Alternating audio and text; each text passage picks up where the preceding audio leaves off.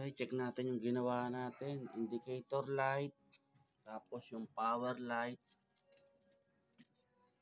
Check natin ng mabuti. Okay, maghulog tayo.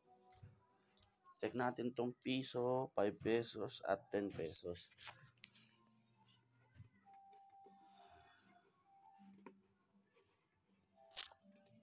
Ayan, nakakonect tayo kay Kuya F. Piso Wi-Fi. Ayan, nakakonect na siya. Tapos ang rate niya, ito. Ayan, kita nyo. Okay, cancel muna natin.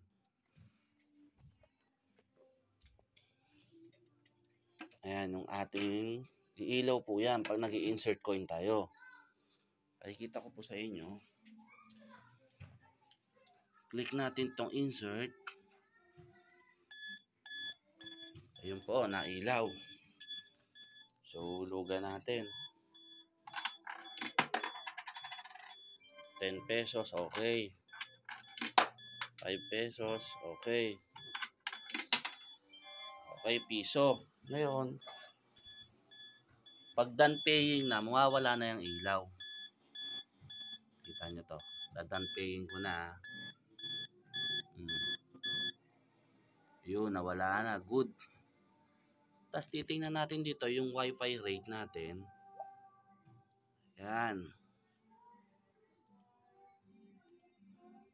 Tapos yung data rates niya, bagong version na po kasi ito. Ngayon, iti-test natin.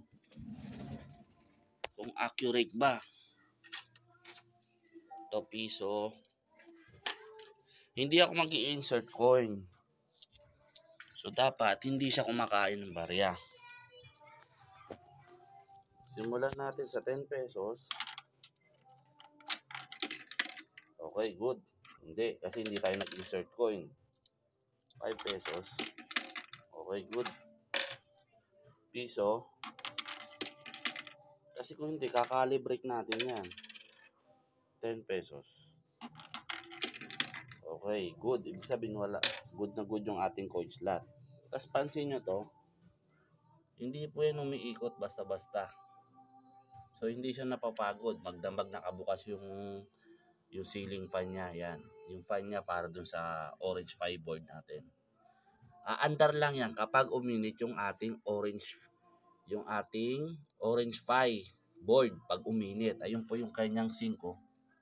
Pag uminit yan, automatic po yan. I- tsaka gagana yan. Hindi ko lang mapapakita dahil nakakabit na dun. Masikip.